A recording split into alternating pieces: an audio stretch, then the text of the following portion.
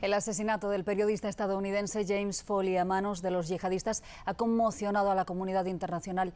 Le secuestraron hace dos años en Siria y ahora han difundido un vídeo con su muerte en venganza, dicen, por los ataques estadounidenses en Irak. Washington verifica la autenticidad de ese vídeo. A Jim Foley se le perdió la pista en Siria hace casi dos años cuando fue secuestrado, hasta esta pasada madrugada en la que el periodista estadounidense de 40 años ha aparecido en un vídeo en el que un terrorista del Estado Islámico le ejecuta cortándole el cuello con una navaja. Una grabación que los grandes portales de Internet han retirado por su brutalidad y para no propagar las amenazas de los islamistas radicales, terroristas que justifican la ejecución por los bombardeos de Estados Unidos contra ellos en el norte de Irak. La madre del periodista ha pedido respeto y en este comunicado ha mostrado el orgullo por el trabajo que realizó su hijo, al tiempo que ha pedido la liberación de otros secuestrados, como el de otro periodista que aparece en el mismo vídeo.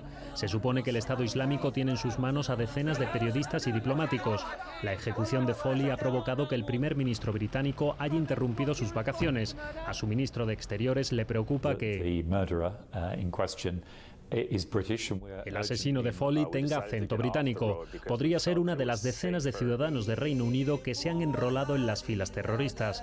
El presidente francés ha pedido que se convoque una conferencia internacional para tratar el avance del Estado Islámico y el primer ministro italiano, que ha llegado hoy a Bagdad, está dispuesto a suministrar armas al gobierno iraquí, al igual que ha anunciado el gobierno alemán.